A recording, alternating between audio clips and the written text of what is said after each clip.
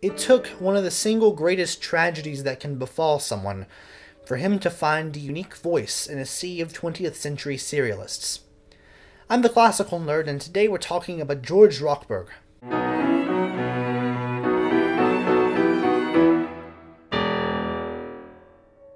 George Rochberg was born in July 1918 in New Jersey and had two siblings. He was Ukrainian by ethnic heritage, and while his father labored as an upholsterer, George was always drawn to the piano, writing songs. He would always find time to write popular songs, even in his later years, although he was careful to always publish these under a pseudonym. He went to the Mannes School of Music in 1939 on scholarship, and while there studied with George Szell, the famous conductor of Cleveland orchestra fame and while there he took such a liking to Rochberg's music that he programmed it with some frequency when he was conducting in Cleveland. To supplement his scholarship, Rochberg played in jazz clubs throughout New York. But World War II interrupted his studies, and he served as a second lieutenant in some vicious campaigns, including Normandy, where he was wounded. But he made it through and back to the States, where he began studying at the Curtis Institute in Philadelphia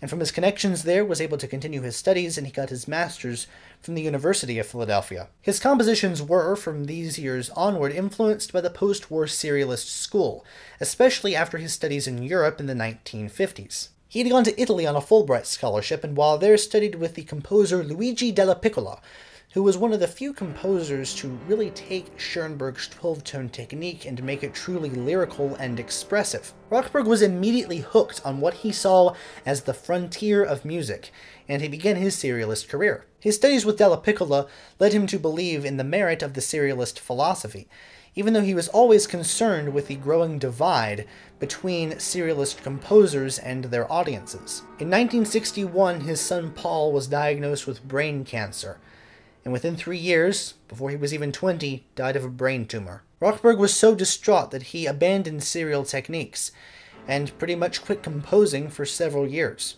The complex mathematical constructions of serialism were inadequate for him to express what he really wanted to express. That could only be done by abandoning the mathematical techniques and returning to tonality, or at the very least, free atonality that predated the 12 tone technique and the rise of serialism. The serialists were at the height of their influence, and this was an era when you were told as a young composer that if you were very lucky, you might get to write a major third every now and then. It's hard to express just how against the grain Rochberg's turn was. Other composers would end up turning against the serialist mentality, but he was one of the first. He wasn't like some film composer either. He was an Ivy League professor, and as such, his turn against that philosophy made him the Benedict Arnold of the genre to the serialists. His first truly significant work of this anti-serialist stance came in his third string quartet. This was controversial. Serial-loving critics called it almost irrelevant. But Rochberg stood firmly by his composition, which, by the way, wasn't like super tonal either.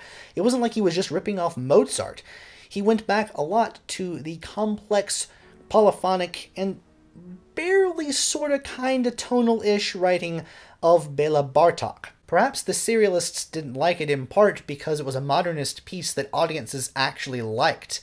And the success of the third string quartet led to several other commissions, which led to more entries in the genre. In 1968, he began his tenure as chair of the music department at Penn, and he would stay in that role for 15 years until he retired in 1983 when he was in his mid 60s. The serialists still attempted to disparage his work, calling him a fraud and saying that by turning against their philosophy, he was betraying morality. He slammed them back by calling their music hollow and meaningless. The comparison he made was the difference between abstract and non abstract art with serialism being abstract and non serialism being the more concrete, the more traditional styles.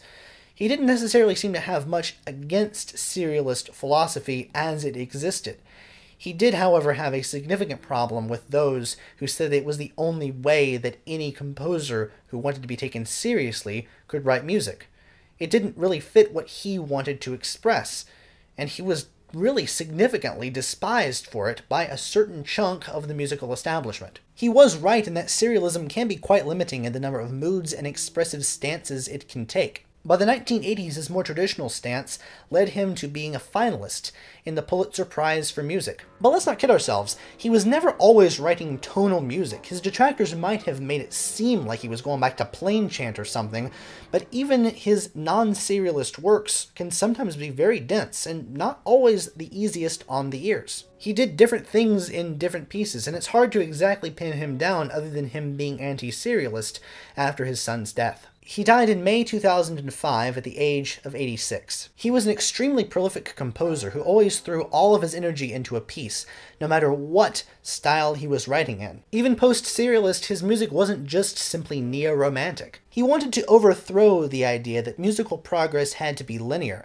and he took great pleasure at juxtaposing things that were more simple and more tonal with really crunchy dissonances. His favorite kind of music was music that spoke for itself, and as such he was against the ever more frequent practice of composers or conductors or performers talking about pieces before performing them. To Rochberg, pieces shouldn't have to require justification.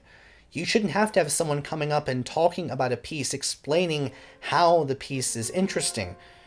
If the piece doesn't sound interesting to the audience and it doesn't make its uniqueness clear, then perhaps the emperor had no clothes. Ever concerned with the still present composer audience gap, one of his books was titled The Aesthetics of Survival and analyzed all sorts of modernist music. It is one of the crown jewels of a written output that augments his productivity in composition. In his brave break from the serial mentality, we see a unique creative voice of the 20th century, initially despised for the mere crime of having his own personality.